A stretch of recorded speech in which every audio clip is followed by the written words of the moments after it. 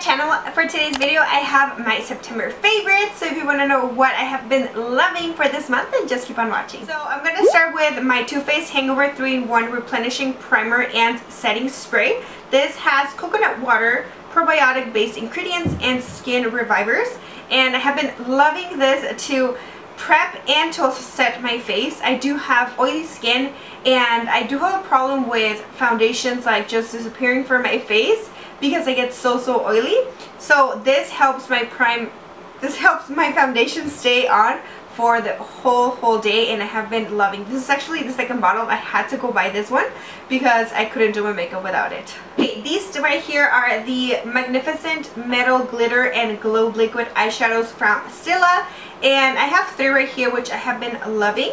And I have the colors um, Diamond Dust, Smoldering Satin, and Hidden Karma and I have been wearing two of them on my eyes right now. I have Hidden Karma on my lower lash line and I have Diamond Dust on my inner corner which I have I love having that inner corner um, like glittery. I just love the pop of glitter. I tend to wear the Diamond Dust almost every day just because I love how these look right here like in the inner corner. Next I have two foundations here that I have been loving.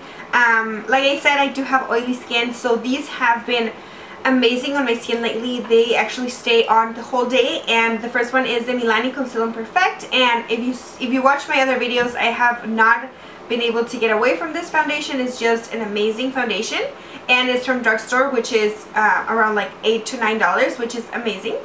And the other one I have here is the Too Faced Born This Way foundation. This is a more high-end, but it's an amazing foundation, amazing coverage, uh, as well as for oily skin, it just stays in the whole day. Next, I have um, the eyeliner that I have been loving. Um, it's just super, super easy to do it. Eyeliner with a brush. And this is the Inglot number 77. It's just your typical black eyeliner. But this is like super black, super matte. And I have been loving this to do my eyeliner. Okay, so I'm not big on like cream contouring or highlighting except with like concealer. Um, but I have been loving these two um, cream contours right here. The first one, this is from Sonia Kashuk and it is a um, undetectable cream bronzer and this is in the color warm tan. It's just a really really nice color just to bronze around my face and I have been loving this for contouring as well. And then the other right here, this is actually, I bought it on like by a mistake um, in cream form. I was looking for a powder just this color uh, but when I got home, I saw that it was cream. Uh, but I have been loving, this is more of an ashy undertone. Um, and it is the L'Oreal True Match Super Blendable Compact Makeup. And it's a cream makeup. And this is in the color N4. And it's this one right here. It is really, really pretty. It's It has a perfect undertone for me to just um, do a little bit of uh, cream contouring, which I have been loving lately thanks to those two compacts. Next, I have two blushes which I have been in love with. The first one is the Milani Baked Blush in the color Bellissimo. And it's just a really peachy, orangey um, blush. And it's the one that I'm wearing today. And it's so pretty. It has a little bit of like golden like um, undertone to it. As you can see, it has a little bit of shimmer. And it gives you a really nice like um, color to your cheeks. It's just very summery and I'm just trying to get the best of it before fall comes in. And then the other blush I have here, this is in the color Coppertone and it is from MAC Cosmetics. Um, this one is more on the like mauvey pink side.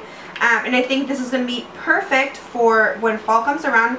Um, but yeah, it's so, so pretty. It's that one right there. It's more a uh, more mauvey color. And like I said, this is Coppertone from MAC Cosmetics. The next product I have here has been a lifesaver. This is the Inglot uh, Duraline uh, little liquid here. I bought this one off, I believe, Camera Ready Cosmetics online. And it has been amazing to just revive those um, pomades that are a little bit dry. My eyeliner was getting a little bit dry and just with a couple of drops, um, it makes it as if it's brand new. And it is just amazing to just give it that kick to your products so they don't dry up. And then the last product I have here, this is the Batiste, Batiste Dry Shampoo and mine is in the Floral and Flirty Blush. Um, now with being blonde, I don't wash my hair that often. Like I think I, I like wash my hair like one to twice a week. Um, but this has been a lifesaver. I tend to get oily back here in the back of my head. Um, and this just like takes away that. It's really, really easy to use. You just, with dry shampoo, you just shake it a little bit and then um, just spray it on like your roots and then you just massage it so like you don't have like a white cast and then it gives I love it also because it gives you a lot of like volume and like that like va-va-voom that you need um, but yeah I have been loving this shampoo um, I've tried several ones but they tend to leave more of a white residue and it just doesn't away and it's really really annoying um, so yeah this is the Batiste, Batiste dry shampoo so that is it for my September favorites. I really hope you guys enjoyed and if you did don't forget to give it a thumbs up and subscribe to the little button down there. And as always, all of the products that I mentioned today are going to be linked down in the description box as well as all my social media. And until then, I'll see you guys in my next video. Bye!